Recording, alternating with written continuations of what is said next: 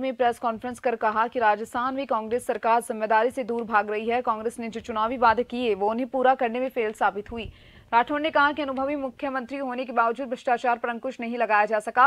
राजस्थान में माफियाओं और भ्रष्टाचारियों को संरक्षण दिया जा रहा है।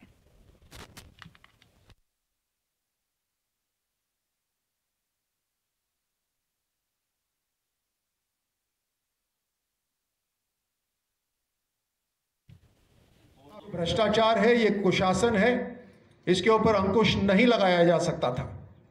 और ऐसा नहीं हुआ। इससे यही लगता है कि सीएम का, राजस्थान की सरकार का कहीं ना कहीं संरक्षण था।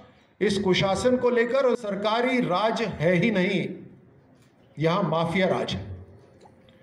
चाहे वो भू माफिया हो, अवैध खनन माफिया हो रेत माफिया हो, बजरी माफिया हो, जनता को सिर्फ़ आत्मदाह करना पड़ रहा है उसे रोकने के लिए।